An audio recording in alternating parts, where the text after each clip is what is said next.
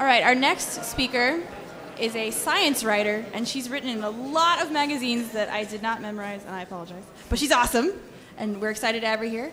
Jennifer Ouellette.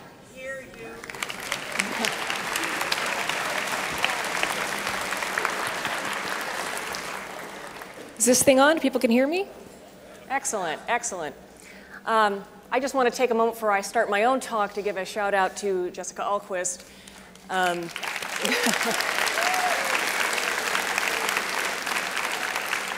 uh, many of you aren't aware that in my own background, I grew up in an evangelical family and attended a Christian college at the height of the Reagan era. And the things that I went through at age 20 dwarf in comparison to what she went through at 15. And um, I did not have the benefit of a skeptic community. And she's very fortunate to have all of you. So I thank you as well.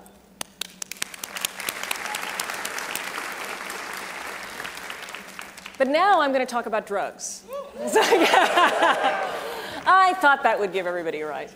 Um, I'm going to play a clip for you. This is a film from a movie called Flirting with Disaster. It was a Ben Stiller movie from 1995.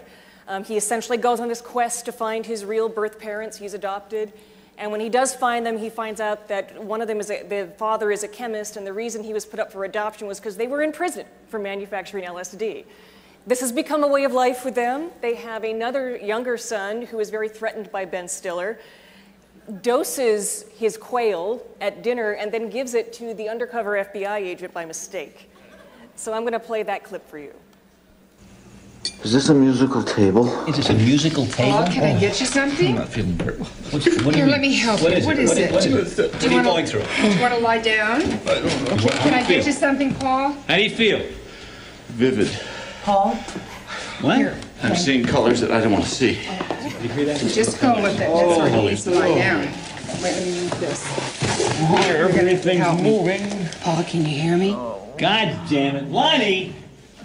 Lonnie! Don't fly off the handle. Come in here. Come here. What did you do to Paul's quail? Nothing, why? Come on, don't give me that fake innocence. What did you do? Oh. I dosed Mel's dish. I meant it for Mel, and then he ate Oh, my God, how much? two and a half. Two and a tabs. half tabs? Are you crazy? Are you nuts? Doesn't your mother have enough to worry about tonight? Like Why do you, just why do you have to talk to me like that? Am I- It's am really I embarrassing to me, special- and I really don't appreciate it in front of him. I mean, who is he? What's wrong You with got the whole science thing going, and the next thing I, I know, you like him better than me because he's more like you than I am. I love you very much. Even if you were Jeffrey Dahmer, we would love you. Yeah, sure. Oh, you know, I'm not here to take your me the hip. Where do Please, you Mel, get this please. insecurity from? I don't understand it. This drives me Honey, nuts. Richard, All right, all right. I want you to apologize to Mel and to Paul right now. Come on, come on. I'm sorry. You're sorry for what? I'm sorry that I put window pane in Mel's quail, and I'm sorry that you ate it. That felt really sincere, didn't it? so, this is clearly the perils of hallucinogens or psychedelics, as they're often called. Um, LSD is by far the most famous. This is the mythology. Um, we've all heard the stories of the flashbacks and the panic and the anxiety and everything that happened to that poor FBI agent. He was the absolutely worst person to be given acid because he likes control and he likes reality and he likes all these things. And LSD messes with all of that. So, uh, and that was certainly my attitude towards acid. I mean, I was entertained by the stories, but I never really had any curiosity about it. And I kind of bought unthinkingly some of the things about it that it was dangerous, that it was addictive, that you had flashbacks all the time, and things like that. Um, I started working on a new book. Um, mostly I write about physics. My prior books are all about physics. But this one I started thinking about the science of self. Um, all the things that go into making an individual human being, whether it's genetics or neuroscience or social psychology, um, and also just the way we construct identity, construct our sense of self. And I was sitting at a dinner with a friend of mine who was from this era, and was telling him that I was, I was doing this book. And he goes, "Oh well, you have to try acid." And I went, okay, well, people have been telling me that for years, and you know, they're usually very self-righteous and a little kooky and going on about consciousness and all this stuff, and I just don't buy it. He goes, oh, no, no, no, that's not what this is about. You know, he says, what happens is it, you know, it like dissolves the self. It just dissolves the ego. He goes, and it, it can be tremendously freeing if you're the right sort of person, and I think you can handle it. Um, he says, I'm just warning you though, when you come down, the self comes roaring back with a vengeance. And he goes, and you better like what you see. And so I just, now I had to try it, right? I mean, like, you get a story like that. But first thing I did was to kind of research what it was I was going to be trying. And uh, LSD, many of you may or may not know, is actually a derivative of a fungus called ergot. Um, some historians think it might have played a role in the Salem witch trials. Um, many of the, the, hallucinations and some of the oral hallucinations and things that were happening or were, that people claimed were happening um, on the witness stand, they think that it may have actually had something to do with that mass hysteria, or it may not have. It, there are actually some very interesting historical accounts from medieval France of you know, entire villages getting ergot poisoning and having these, these reactions. But ergot does have a kinder, gentler side. I mean, it's not just this horrifying thing. It actually was used uh, as a way of stemming postpartum bleeding and as a headache remedy for migraines, which is why a company called Sandoz Chemical or Pharmaceuticals was very, very interested in the 1930s and 40s about looking at compounds, derivative compounds of ergot. And this is Albert Hofmann, in his lab uh, back in like 19, early 1940s, and he was playing around with these compounds. And he actually first isolated this one compound called LSD-25 about five or six years earlier, but it didn't really seem to have any uses that Sandoz found. They were really focusing on the postpartum bleeding and the migraines and things like that, and it didn't really seem to be anything of interest. But Albert Hofmann a little bit, you know, genius is, is, is, a little bit serendipity. He just kind of had this nagging sense that he might be onto something. So um, he did, in fact, go back to LSD 25, and he was working with a very, very tiny amount. I just want to give you a sense of how powerful this stuff was. It was literally like a hundredth of a microgram, and he got a little bit of on his skin. And he ended up feeling feverish and hearing things, and weird colors were swimming in front of his vision. He had to go home sick.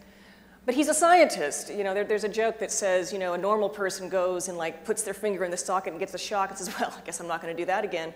A scientist will go, I wonder if it does that every time. so Hofmann did that. He just said, I, I got to try this. You know, I want to see what happened. Clearly, some trace amount of this stuff got in, so I'm going to be really careful. I'm going to take maybe, oh, 150 micrograms, which is a lot. That's essentially, you know, a tab and a half, maybe two tabs. When you hear Lonnie saying that he dosed him with two and a half tabs, that is a lot. I know that FBI agent's a big guy, but he's going to be up there for 10 to 12 hours. That is a lot of acid to hit somebody with. Um, so uh, Albert Hofmann takes 150 micrograms and just kind of waits. And, um, you know, and he started feeling slightly sick and feverish, uh, but there was nothing wrong with him. He had no temperature. And then, you know, he really just started, you know, the, the, world just started moving, and he would look at his hand and it would do weird things. And this is all contained in, in, in uh, his memoir, uh, which is called LSD My Problem Child. Worth reading, it's very entertaining.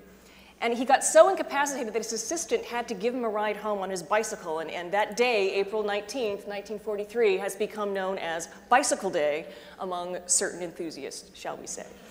Um, but I loved his description because, you know, unlike a lot of people who drop acid, they're just, they, they, they become rather inarticulate. Hofmann was really able to talk about what he was seeing and hearing. He talked about these kaleidoscopic, fantastic images that they surged in and they opened and closed in circles and spirals and exploded in colored fountains. And when there was a sound, it would actually generate its own pattern. And, you know, so listening to music while on acid is a thing, and now you know why. um, LSD needs a substrate. This is just a little bit of a science background. It's, it's one of the reasons that it, it gets uh, nicknames like window pane or sugar cubes or things like that is you have to put it on something. Um, sugar cubes right here is the most popular. And notice it's really just one little drop. I mean, that's how powerful this stuff is. Blotter paper, also very, important, also very popular. I love the blotter paper just because you know it, people have their inner artist. They get to actually, you know, you actually get to learn. Artists have trademark blotter papers, and it became this sort of like subculture art form. Um, the version of acid that we tried was in the Altoid form. It was like it tastes just like a breath mint. LSD is odorless. It's tasteless. It's in this little liquid. You can't taste it, and you think you're just taking a breath mint. You are not. so this was this right here is me trying to take notes um, while on acid, and I can tell you right now that um, I understood. Uh, Hofmann actually tried to take notes as well, and he ended up not being able to read his own writing and just giving up. I don't know how to explain it to say that your hand keeps melting into the paper. Um, so I would not so much say that it destroys the ego because there was always an I. I was always aware of being an I. But what it does destroy, or what it does undo, is the construct, that self that you have constructed. Um, that sense of identity, that sense that you are here and everything else is over here. You just kind of, your molecules disperse, you know, with everything else. And so you're still you, but it takes a huge amount of effort to bring those molecules uh, uh, back down. Um, you know, uh, it, it, it, took my husband like 40 minutes to make me a bagel because it just, it required a lot of con concentration. it was just way, and I didn't even notice because I was busy melding with the oriental rug. So, um, at the end of this talk, I mean, we did try and videotape part of it, and all I can tell you is it's the most boring video footage ever because it's basically just me going, stuff is happening, you know, in your head, in your visual cortex, but, you know, to the outside world, it just looks ridiculous. So I'm going to talk a little bit about why that is, but this is kind of, you know, the gist of what I wrote. You know, I just kept going on about, you know, molecules, man, the boundaries, they fade the longer you stay in place, and every object is like this living and breathing thing, and we're all part of it. And then I had that moment of self, self-consciousness uh, and go, oh God, I sound like every stoner acid head ever. And I did. There is a reason for that. I'm going to skip this clip, but Mad Men actually very, very uh, famously did a scene where they were visiting Timothy Leary's New York apartment and they all dropped acid. And uh, it's, it's relevant because it's, it's a slow-moving scene, not nearly as fast-paced as the other, but you do see you know, a woman crawling around on the floor and you see them looking at each other's arms and things like that and getting the oral hallucinations. So this is what acid actually does, and a lot of other hallucinogens as well. Um, this is a neuroscientist that I interviewed named Robin Car Carhart Harris. He goes, look, we have this feeling that we have always been who we are, and we don't realize that we are a construct. The way he put it was, you don't actually know you have an ego till you lose it. So it can feel as if there is some confusion about where we end and the world begins, as if we kind of merge with the world or the oriental rug or my like notepad. And that can be very upsetting. Um, I, I, can't imagine what Hofmann was going through. He had no idea what was happening to him. As far as he was concerned, he could be dying and he wouldn't know. Um, he felt great after everything wore off, so he figured it was good, it, you know, it was safe. Um, and he went back to his research. But while you're in the midst of it, if you are not aware that you have been dosed, it can, I, I can only imagine it would be terrifying. So Early on, uh, Aldous Huxley is one of the more famous uh, pioneers of hallucinogens, and LSD in particular. He wrote The Doors of Perception. Um, he had an idea, you know, the, the idea here, there, there were some early theories about what is happening, how psychedelics work on the brain. Um, Huxley had this notion that LSD is like a reducing valve, or rather, um, it it, uh, dismantles the reducing valve in our brain. I mean, this was this idea that part of the brain's job, we get all this sensory information in, and part of the brain's job is to shut stuff down so that you can function, so that you don't have the whole universe in front of you, but that you can deal with a, a limited amount of information. And the brain does that all the time. You know, it, it picks and chooses what it's going to focus on. LSD actually kind of cranks that way down and makes it far less effective um, so that you end up really do have this experience of an expanding perception. Hofmann himself basically said that it's a biochemical effect, that it alters the brain's receivers and it turns, tunes it to a different wavelength, which I think is actually a pretty good analogy for what's going on here. Um, one of the scientists I interviewed called it a chemical microscope.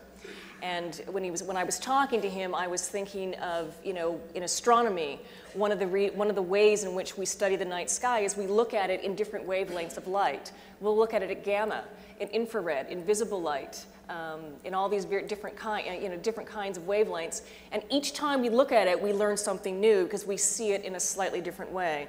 This is what acid does to the brain.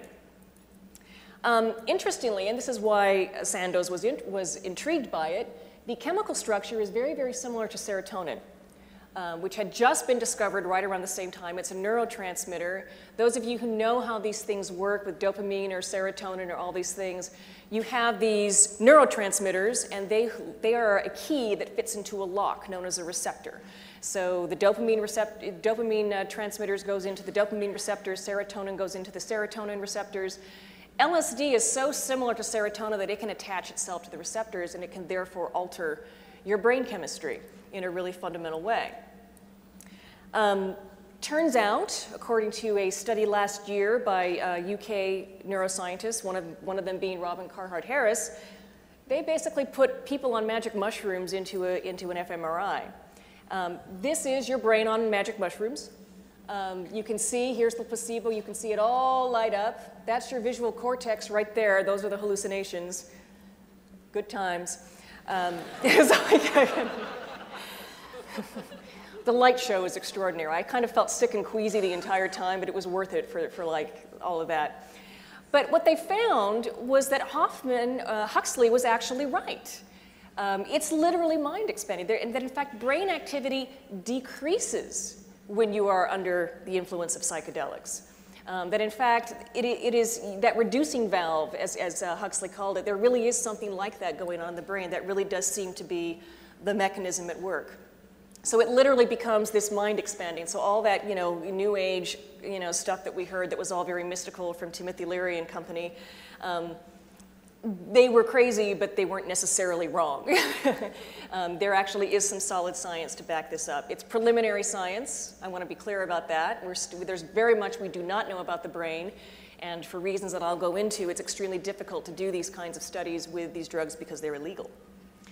Um, so, visual hallucinations are another interesting part of the science. I was fascinated by these because um, First of all, you really understand where a lot of art comes from, especially from the 60s.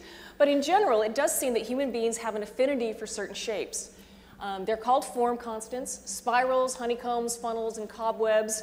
Back in the 1920s, a man named Hans Kluver actually came up with these classifications. That light at the end of the tunnel that people claim to see when they have near-death experiences, there's a reason for that, and that reason lies in the visual cortex. Um, the visual cortex is flat, and two-dimensional, and because of that topology, there are certain shapes, you know, that, that are dictated that must appear, and these are the ones that we are most commonly able to see. I don't want to go into too much detail about that. That's the general gist. Um, this man, Jack Cowan, at the University of Chicago, he's both a neuroscientist and a mathematician, and he's the one that has been working on this particular problem. It's related to work that Alan Turing did in uh, the 1950s, 1940s and 50s, you know, Everybody knows the story of Anna Alan Turing, the homosexual who committed suicide. In, in, in, the midst of all that turmoil in the last couple of, a couple of years of his life, he wrote this landmark paper on why tigers and, uh, have their stripes, um, which is, and he called them Turing patterns. And essentially, what he was proposing was that, you know, when the tiger is developing or whatever, there's these two, this is a, a two chemical system and one turns, one turns on something and one turns something off, and you get these alternating stripes. And you get these various Turing patterns, and uh, it turns out that neurons in the brain seem to work very, very similarly, that you seem to have these you know, similar things going on in the brain. I can tell you personally that I definitely saw that pattern, and I definitely saw that pattern. Um, and you know, other people would have other patterns as well. So there's a reason that we see the things that we do. And they are not magical, they are not mystical, they're actually grounded in science. It does not make them any less cool. Um, uh, th this is actually a, a, quote from, from my book in progress. As loopy as it sounds, LSD really does give you a new way of seeing, and what you are seeing is the synaptic architecture of the brain itself. This is why neuroscientists are so fascinated by the promise of hallucinogens in their research. It's very difficult for them to get permission to study it. Many of them would love to. Among other things, it might actually shed light on consciousness, which they are nowhere near casting any light on. So why can't they? Well, we have to go back to our old friend Timothy Leary and the culture wars of the late 60s and early 70s. Um, Leary was a Harvard professor who first started doing uh, experiments with acid at Harvard was, you know, he started working with magic mushrooms, then he turned to LSD, but he got a little too fond of his own drug. And uh, he basically had this, uh, this uh, motto, turn on, tune in, drop out, and it became this whole movement. He had huge delusions of grandeur. I think the acid helped with that. You feel big part of the universe. You feel like you were seeing things that no one has seen before, and he let it all go to his head. Um, he was, in fact, arrested. Richard Nixon went so far as to call him one of the most dangerous men in America. You had a huge culture clash going on with flower power, and at the same time, you also had a CIA experiment called MK Ultra that was overseen by Sidney Gottlieb that was basically administering acid to, you know, unwittingly to, sub, to, to, people who didn't know they were being given it and then looking at what happened. And they tended to be prostitutes or prisoners or things like that, people whose rights were actually being violated by this. Acid got a very, very bad name. Um, and there were some very, very bad experiences that those people um, experienced. That's the peril of hallucinogens is that it's they are predictably unpredictable, as, as once was one neuroscientist told me. You actually can't be entirely sure how you're going to react. We had a very, very pleasant experience. We were in a good place and we set things up in such a way that, you know, there wouldn't be any angst.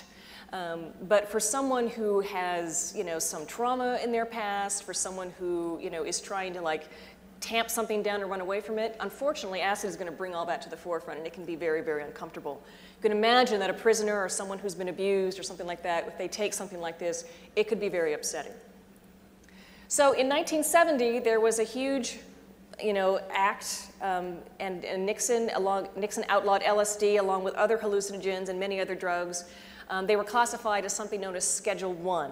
And the key element of that classification is that there are no medical benefits.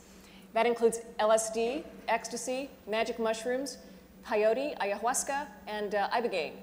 Um, peyote and ayahuasca actually are used in religious ceremonies uh, in certain cultures, so there is a religious exemption within those sacraments where you're allowed to use those. And uh, we'll talk a little bit about those, but I want to focus on this notion that there are no medical benefits. Uh, in the last, about 25 years ago, they celebrated their 25 year anniversary last year, is this MAPS organization. It was founded in part by Rick Doblin. Um, they basically are trying to pick up the slack of what happened in 1970. All research in acid just shut down in 1970, and we haven't, for 40 years, nothing was done. And MAPS basically said, you know, we need to overcome the stigma, the social stigma that still lingers to these psychedelics from the culture war. As he put it, it's not the drug, it's how it's used that matters. And um, I just interviewed him a few weeks ago, and he just said, look, you know, our whole drug policy focuses on the drug as something evil. He goes, really, it's people's relationship to the drug that matters. Alcohol is a drug for an alcoholic, and a very, very bad one, but most people who are not alcoholics can drink it just fine. So you know, changing the focus to how it's used and, and how, the, how the users relate, relates to that drug actually changes how you think about whether it should be legal or not or, or what kinds of controls should be in place. So one of the first studies that they funded was for using magic mushrooms and LSD for cluster headaches. And they didn't actually do a, an actual study. What happened was they found out that there was a support group for sufferers of cluster headaches. Has anyone here ever had a cluster headache? I'm so sorry. um, get some acid. Uh, the pain, I've had a migraine and I'm told that it is like 10 times, it's like 10 migraines in one. It's just unbelievably painful. And most of the medications that are out there are ineffective after a certain amount of time. So there were people who were just desperate, completely incapacitated by headaches, and um, desperate, and they began self-medicating with hallucinogens, specifically magic mushrooms and LSD. So this particular study, you know, it, it's not perfect. I mean, these were all self-reports, but in fact, a huge fraction of these, these sufferers said that the LSD and the magic mushrooms actually really did alleviate the pain. Um, help them in ways that the other medications would not. Whatever action biochemically is happening in the brain is associated somehow with stopping the onset of the symptoms. And we're not even sure what causes cluster headaches, so we're nowhere near understanding exactly what's going on. But we can't study what's going on because the drug is illegal. So what MAPS was trying to do was do this preliminary self-report study to try and build up evidence in order to one day get permission to study this. And this, this work is still being done. One of the men who did this early work is, uh, he hasn't, he's not dealing hallucinogens, but he's dealing with essentially um, a, a, derivative of uh, LSD, and he's working on developing that as a drug for cluster headaches, uh, you know, for the market. Um, but definitely we want to know a little bit more what's going on neurologically, what's happening, you know, not only with the cluster headache, but why a hallucinogen might work against it where other medications are not. we can't study that, or at least it, it's very difficult because it's just so hard to get approval to get the drug. So I mentioned ayahuasca, the spirit vine. The active ingredient there is uh, DMT. Most of these are tryptamines um, or various relatives thereof. That, that's the psychoactive element that gives you, you know, that feeling of disembodiment and the hallucinations. This is a fascinating thing. There's two elements to it. This is the vine itself, and it's, it's basically crushed up with a bunch of leaves. It's the leaves that contain the DMT, not the vine. And they boil it together into this disgusting, really brownish, thick liquid, and then people drink it. Um, it's part of a religious ceremony in certain Brazilian tribes. It is not pleasant. I think that that is an important thing to feature, even though you have this out of body hallucinatory visions and all these sorts of things. Um, there's a cost to it. Uh, people are advised to bring their own vomit buckets because you will get sick. Um, th that, that's a side effect to it. Um, but it's very, very powerful stuff, and it's stuff that we don't fully understand. Um, but maybe we should have been looking at it all along because back in the 1920s, there was this guy named Louis Lewin who wrote a treatise called Phantastica about hallucinogens. And he didn't look at the psychoactive element, he looked at the vine. And he got a compound out of that called banisterine. And he found that if he took that without the DMT component, without the leaves, that he didn't get the hallucina hallucinations. And in fact, he felt that he had improved motor control and he felt his health, appetite was healthier and he felt invigorated. And he thought this would be fantastic treatment for Parkinson's. Because think about what Parkinson's does. I mean, you have tremor, you have poor motor control, and you have, you know, decreased appetite and things like that. So unfortunately, he died shortly thereafter, and nobody followed up on this ever until like now. um, I'm going to stick on this slide. There is a, a man named uh, uh, Juan Sanchez Ramos. He goes by Zeno because he's an artist on the side. And uh, he has a very colorful man. Um, I have a profile of him coming out in Mental Floss in a couple months. Uh, he basically was a Latin playboy who went to Paris and fell in love and dropped acid for the first time. And then rather than becoming an artist and losing himself in a drug culture, he became so fascinated by its effects on the brain that he became a neuroscientist. And uh, so he has been involved with MAPS off and on, but he works specifically on things like Parkinson's and Huntington's, these neurodegenerative disorders. And he found out about Lewis's, about Lewin's paper and he wrote a review article. And uh, he did his own study. He had to do it in Ecuador with, with, a, with a small group of scientists. MAPS helped kick in some of the funding for that. And they did find that, in fact, Lewin was correct. Preliminary evidence, and it is preliminary, um, shows that it does reduce tremor. It actually does address some of the motor function problems that Parkinson's patients suffer from. Um, there are side effects. Uh, they get sick. uh, it, it's, not a, it's not an accident that uh, the ayahuasca ceremonies, people are vomiting all the time.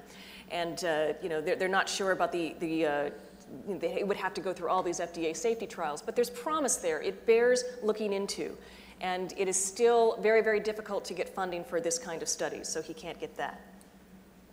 So he turned his attention to a different uh, drug. His work on the, on the, uh, the ayahuasca put him in touch with a woman named Deborah Mash uh, out of Florida who was working with ibogaine to treat addiction. Ibogaine is actually a West African shrub. It's kind of a bar mitzvah drug uh, for certain West African tribes where, you know, a young man comes of age and he's basically given this tea of the shrub. This is it in a powdered form. Um, but, uh, and then they send them off into the forest to commune with their ancestors, you know, with their, with their visions. And they come back and they come back and they're given a new name and a new identity. So it's this coming of age kind of thing. But ibogaine actually turns out to curb withdrawal symptoms and cravings for opiates in particular. And we know this thanks to a, a heroin addict named Howard Lotsof. This is him in his youth, this is him older. Um, when he was 19 years old, he was basically he was a junkie. He was living in New York City, and he would basically do any drug anyone handed him. And someone one day handed him ibogaine, and he did it. And he found when he came to, uh, when he came down, that he no longer craved his heroin fix. And not only that, he did not have any withdrawal symptoms. So he started, he got some more Ibogaine and he gave it to some of his junkie friends and found that it, all, it did the same thing for them. Which is not to say they all cleaned up and, and became law-abiding citizens because you know, anyone who studies addiction knows it's very complicated. There are behaviors, all these various things. But the physical addiction, the physical effects of the heroin addiction were completely curtailed. And he is the first one who basically lobbied to get the first studies of ibogaine done. And Deborah Mash and Ramon Sanchez Lopez, uh, Juan Sanchez Ramos, were the ones that did this study. Unfortunately, it got shut down because there was some evidence a, by another study that it caused death of neurons in rat brains, and the FDA just said, no, not going to do it. Not to be undaunted, Deborah Mash has opened up a clinic uh, in St. Kitts where it's legal, and uh, she basically treats addicts, and she reports very, very high recovery rates. Not perfect, but very, very high. Again, it's a hallucinogen. It's, it's, it, it's used recreationally by some people and religiously by others, but you know, that's just one side of it. And there is this other side, and by making these things Schedule One drugs with no, med no medicinal value, we are basically cutting off any kind of advances um, that might help us. Peyote, uh, mescaline. Um, most, a lot of Native American tribes use these in religious ceremonies. It's, it's, it's part of the practice of their religion. They use it to commune with God. Um, but one of the things that uh, scientists started to notice was that in the tribes that practiced this religion, there was almost no alcoholism, like none. Uh, and you know, the, the, religion itself, even though they're all taking peyote, the members of the church basically are just don't drink. They don't do any other drugs. Really, peyote is not a recreational drug for them. It's part of their sacrament. There's a reason for that. John Halpern, who has worked with them, said, you know, peyote really doesn't like alcohol. Um, and, and he said, in fact, you know, he's worked with a lot of um, alcoholics, and he says, alcoholics hate hallucinogens, they hate acid. And because they're trying to run away from things, they're trying to get a predictable effect every time they do something. And as we said, hallucinogens are unpredictable. Hallucinogens are going to bring forth the things that you're trying to run away from. Alcoholics hate it. and uh, Halpern has worked with uh, many of, many of uh, these tribes, and he's found that, you know, he told this wonderful story of this young man who had developed a major drug and alcohol problem and uh, went through a ceremony, and it was a very painful ceremony. He got sick, he was frightened. It, these were not pleasant experiences, but it did, in fact, turn his life around and help him overcome his alcoholism. So, the other ones I'm going to talk about, I don't know how much time I have left. I'm going to try and whip through this. How much? Five minutes? I can do this. Um, ecstasy, which we all know, we've seen uh, the, the, raves. It's like you, you, you, pop that and it's just like, whoa, the world is beautiful. Um, and the other one is magic mushrooms, which I've already mentioned, psilocybin. Both of these, along with LSD, are extremely useful in treating depression, anxiety, and post-traumatic stress disorder. In fact, many people don't realize that before LSD was outlawed, before it became the flower child's drug of choice, in the 50s, it was used by psychiatrists, particularly in Hollywood. Cary Grant, very famously, um, underwent therapy. And I, I, love that he talked about molecules too. His quote was, you know, all my life I've been going around in a fog and you're just a bunch of molecules till you know who you are. But he also told people that it takes a lot of courage to take the drug. You know, for the same reason that uh, Robin Car Carhart Harris told me, they're not good for escapism, they're gonna make you think. So there have been a number of studies that are using this to treat PTSD in particular and um, end of life. Um, a lot of patients who are, you know, terminal cancer patients are having to cope with the fact that their life is going to end. And it can be very anxiety. As one woman put it, death is the ultimate fear. It's our ultimate anxiety.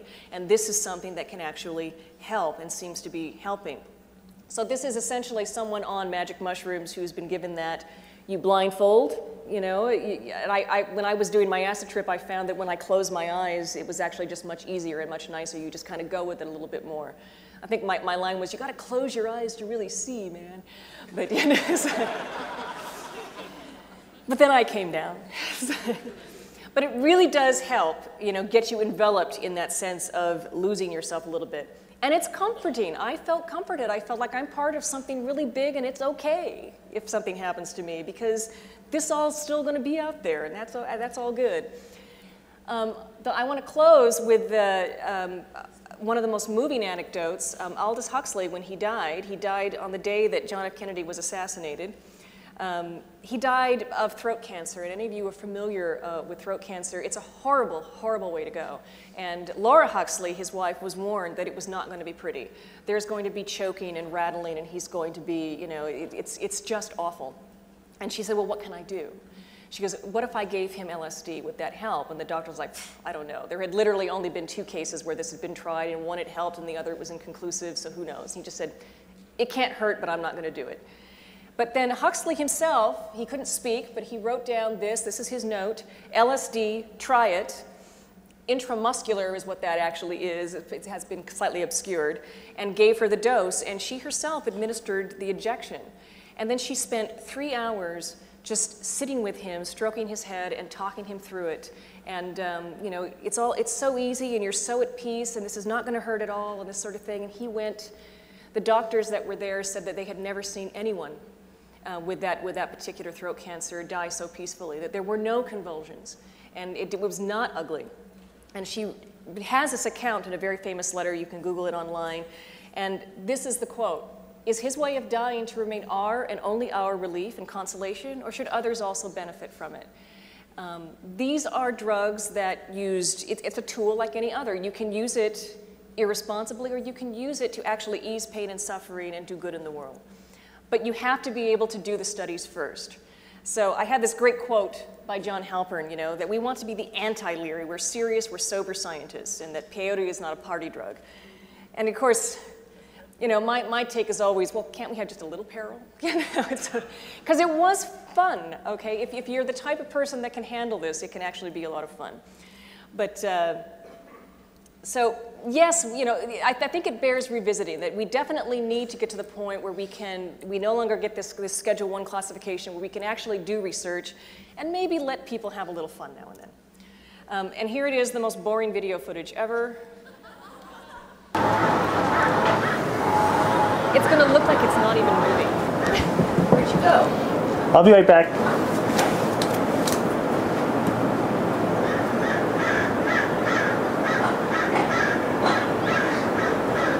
Did this for 10 minutes. And the wood, I'm just telling you, the stuff was happening. So, so that's my talk. Um, I'm going to turn the sound down if there's any questions. It will not go down. They wish to make you listen to this. Anyway, are there questions? It really is just that for 10 minutes.